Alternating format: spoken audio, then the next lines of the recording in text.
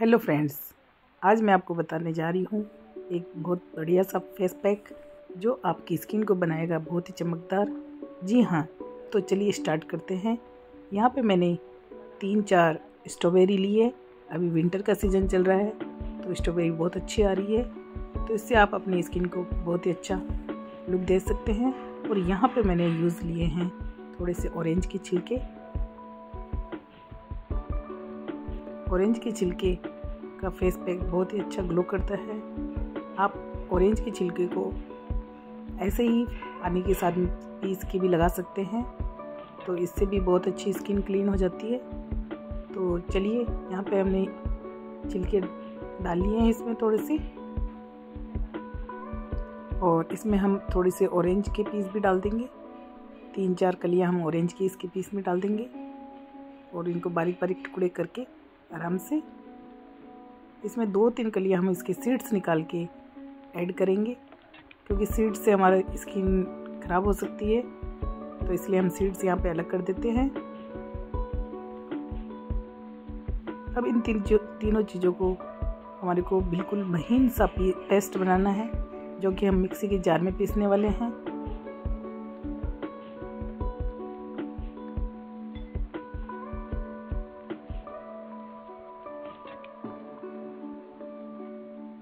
अब हमारा ये पेस्ट रेडी हो चुका है। इसको आप छान भी सकते हो बट यहाँ पे मैंने इसको छाना नहीं है। इसमें से जो मोटे टुकड़े हैं, मैंने इसको अलग निकाल दिया है।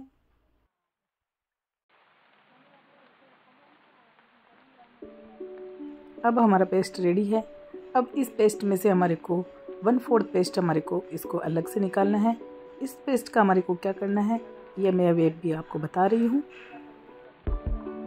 इस वाले पेस्ट से हमारे को, हमारे चेहरे पे पाँच मिनट के लिए मसाज करनी है तो इससे आपकी स्किन बिल्कुल स्मूथ बन जाएगी और बिल्कुल क्लियर हो जाएगी। फिर हमारे को इस मसाज क्रीम से मसाज करने के बाद में वॉश करके फिर हम पैक जो बना रहे हैं, वो लगाना है।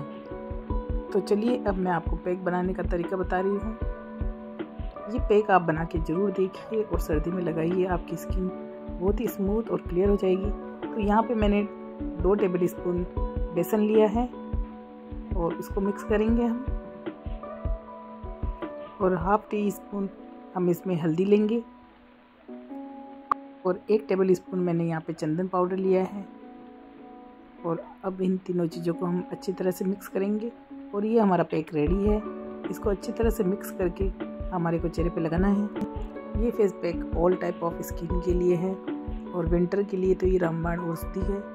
तो फ्रेंड्स जल्दी से लगाइए इसको और फटाफट मेरे चैनल को लाइक कीजिए। Thank you bye bye